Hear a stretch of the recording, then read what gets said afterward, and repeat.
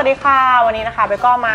พักผ่อนแถวๆในเมืองนะคะ แถวทองหล่อตอนนี้อยู่ Grande Centre Point ค่ะ ก็เลยแบบว่าเฮ้ยนึกขึ้นมาได้ว่าอยากจะมาแชร์เรื่องการใช้เลนส์ดีกว่าค่ะ เพราะว่าปกติเนี่ยเบจะเที่ยว outdoor เป็นส่วนใหญ่เนาะแล้วเบก็จะใช้เลนส์ตัวนี้ตัวนี้ที่กำลังถ่ายอยู่นี่เลยค่ะ เป็นเลนส์18105นะคะซึ่งเป็นเลนส์ที่เรียกว่าเลนส์ครอบจักรวาลนะ ตัวเดียวเที่ยวทั่วโลกคือถ่ายได้ตั้งแต่ช่วง 18 ถึง 105เอ่อจะเรียกว่ามันพอไหม มันก็พอในระดับหนึ่งคือ สามารถถ่ายเทเลได้ถึง 105 นะ แต่มันก็เทเลไม่สุดขนาดแบบถ่ายนกถ่ายอะไรเงี้ยไม่ได้ หรือว่าช่วงวายเนี่ยก็วายได้แค่ 18 ซึ่งพอเรามาเจอวิวพาโนรามาแบบตรงนี้นะ เราก็แบบ เฮ้ย ช่วง 18 มันก็ไม่พออะไรเงี้ย แต่ว่าเออโชคดีที่ไว้เตรียมการมาไว้พกเลนมาหลายตัวค่ะไว้ก็เลยเออเอาเลนหลาย ๆ ตัวเนี่ยมาทดลองดูว่า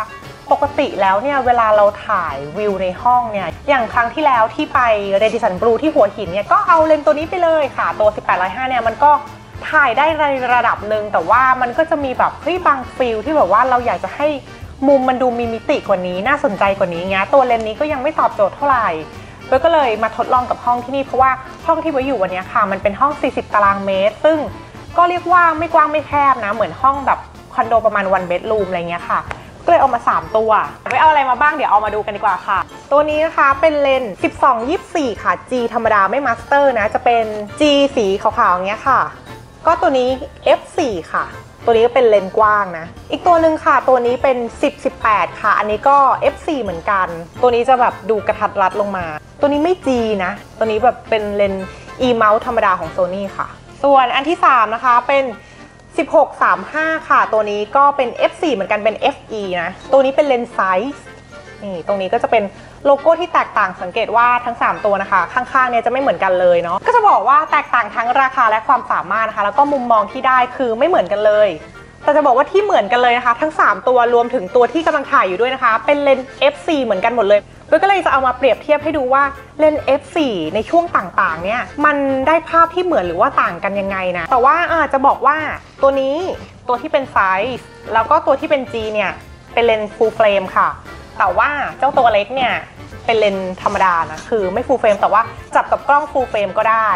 ทั้ง 3 เลนส์นี้ไว้เอามาจับคู่กับ A7R Mark II ค่ะ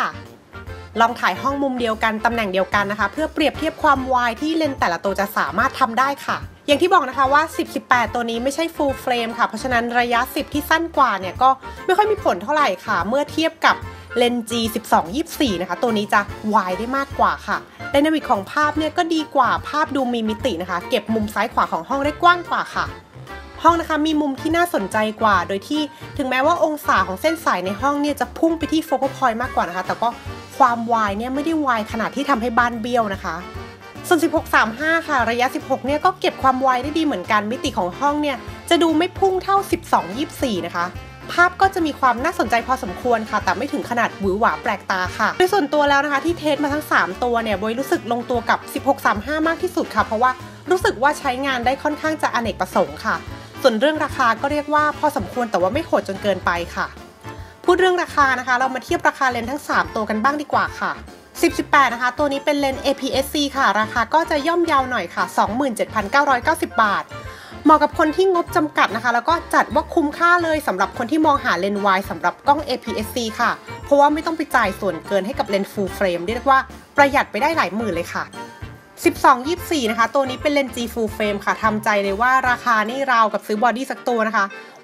63,990 บาทค่ะ แต่แน่นอนว่าซื้อไปแล้วเนี่ย คุณภาพเน้นๆ ยิ่งคนที่รีวิวห้องโรงแรมหรือว่าคอนโดบ่อยๆ นี้ได้ใช้แน่นอนค่ะ 1635 นะคะ ตัวนี้เป็นเลนส์ไซส์ full frame ค่ะ ราคาก็ก้ากึ่งระหว่าง 2 ตัวแรกนะคะ 44,990 บาทค่ะ ฟังดูเหมือนอาจจะแพงแต่ว่าอย่าลืมว่าตัวนี้ full frame นะคะ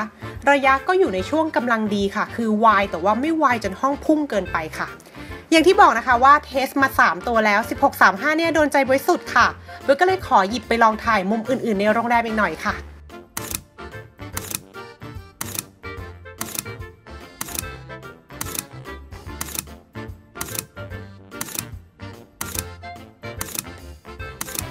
ค่ะก็วันนี้นะคะมาแชร์กันประมาณนึงเนาะคร่าวๆเนาะไม่ได้ละเอียดมากแต่ว่าแบบแชร์ให้ดูก่อนว่าเฮ้ยเลนส์สามตัวเนี้ยเป็นยังไงบ้างแล้วบอกว่าเพื่อนๆชอบแบบไหนกันนะแต่ว่าสำหรับบอยก็มีคำตอบในใจเนาะเห็นกันอยู่แล้วว่าช่วงไหนที่บอยชอบที่สุดแล้วก็เอาไปถ่ายเยอะที่สุดค่ะ ก็